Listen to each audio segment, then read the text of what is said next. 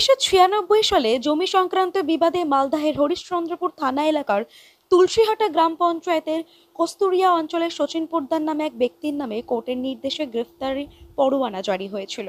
কিন্তু দীর্ঘদিন ধরে পুলিশের চোখে ফাঁকি দিয়ে তিনি পালিয়ে বেরিয়েছিলেন। কোর্ট থেকে আবার তার নামে গ্রেফতারির পরোয়ানা জারি হয় সম্প্রতি।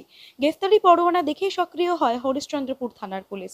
ছাব্বিশ বছর পুরনো মামলার ফেরার হয়ে থাকা আসামি সচিন পোদ্দারকে তুলসীহাটা থেকে গ্রেফতার করল হরিশ্চন্দ্র পুলিশ। তাকে চাচল মহকুমা আদালতে তোলা হয়েছে।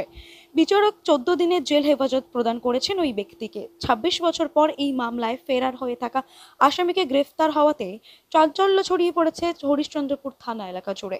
এই প্রসঙ্গে হরিশ্চন্দ্রপুর থানা আইসি সঞ্জয় কুমার দাস বলেন, মামলাটি ছাব্বিশ বছরের পুরনো। ওই ব্যক্তির নামে এর আগেও গ্রেফতারি পরোয়ানা জারি হয়েছিল, উনি ফেরার ছিলেন।